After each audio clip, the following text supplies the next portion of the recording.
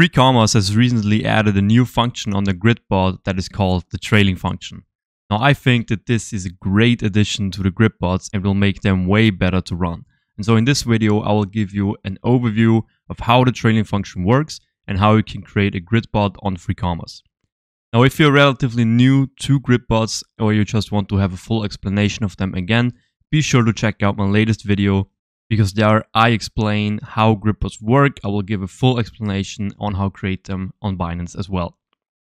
Now, the main reason that you want to create grid bots on 3Commas and not directly on your exchange is that most exchanges out there actually don't offer grid bots. For example, on Binance, you have the option to create spot grid bots and futures grid bots directly on Binance. On most other exchanges, for example, FTX, there is no option to actually create grid bots on FTX directly, and so you have to go to a third party provider like 3Commas and then create grid bots for your exchange. If you don't have a 3Commas account, you can sign up with the link in the description below. And then you just can go to my portfolio and you can connect whatever exchange you're using. After that, 3Commas will display your available funds and then you can go to the GridBot to get to the GridBot overview. Now, the main three things that you need to set up is your exchange, the market that you want to trade against, and the actual pair that you want to run. After you've selected all these three settings, you can either choose to go for automatic settings, where 3Commas will have a look, I think at the past 120 days, and you look for the lowest price, the highest price, and do some calculations based off those, and then set the price range. And based on the backtest, it will tell you which amount of grids would have made the most profit. If you don't want to rely on the automatic settings, you can go back to your custom settings on the custom settings, you can set all these settings that I've already explained in my latest video. And now there's one new feature that is called the trailing to the upside.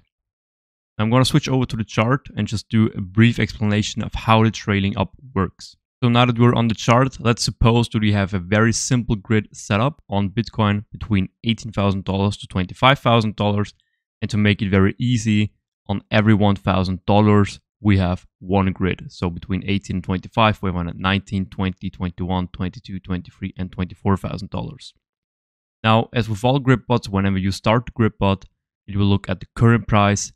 All levels below the current price will be buy orders. All levels above the current price will be sell orders. Just to quickly repeat what the risks are with grid bots. Well, the only risk with a spot grid bot is that basically the price goes below your range where I would recommend to have a stop loss setup, let's say something like $17,000 in this case. And when this price is reached, you basically have two options. You can either stop the bot or you can stop the bot and sell your entire Bitcoin. But this is not what we're going to focus on in this video. This video, we're going to be focusing on what happens if the price goes up on the other end. So let's just play through a quick example so we can see what, what would happen if the price goes above the upper end. Let's imagine that the price of Bitcoin continuously goes to the upside and has now reached all of our limit orders. Now, if this happens, then we know that all the orders that are on the grid will be turned into buy orders. And then typically, if the price still continues to go up and it goes out of the range, well, the, the grid bot wouldn't do anything. It would just wait until the price maybe goes back into the range and then it would continue to trade.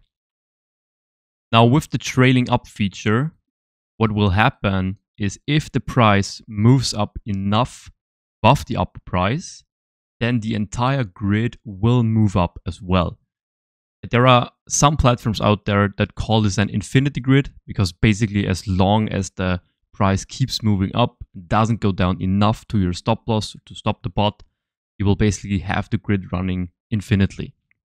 Now, how this works is that every grid has a certain gap between each other. In this case, to do it uh, as simple as possible, let's say there's exactly this $1,000 between every grid, and the upper price is at $25,000. Let's say that the price goes up to $26,000. What will then happen is that the upper price will turn into a buy order. Even though before that it was actually no order at all, now there will be a new buy order. The problem with, that we're going to face right now is we don't have enough funds to cover all the orders anymore because now there's one more order than we initially created. Also, what will 3Commas will do automatically is that it will remove the latest buy order and it will move up your stop loss as well. And so as you can see, even though we started at 18 to $25,000, now we have the range from 19 to $25,000. Let's say that the price continues to move up to $27,000. Then it will again look at the range between the grids. Now it would set up another buy order at $26,000. Again, remove the latest one and move the lower stop loss up by $1,000.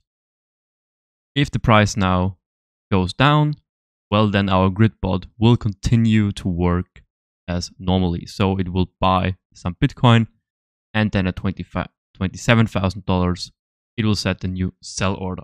And so as long as the price doesn't go down enough to stop our bot, the entire grid will always move up with the price of Bitcoin in this case. I think this is a great addition because previously what you had to do was you had to set up a take profit and let's say the take profit was $26,000 and then after this price was reached your bot would just stop again and you would have to set it up again. And so with the trailing up feature you can continuously keep your bot running. Now back on 3Commas, there's one really important thing that needs to be set because only then trailing can be used. And this is what you can find on custom if you open up the options. Both the profit currency and the order size currency have to be in US dollar or in your stable coin, in quote. The reason for this is that if I have order size currency of E, for example, then obviously as the price goes up, the orders will become more and more expensive and I don't have all the funds.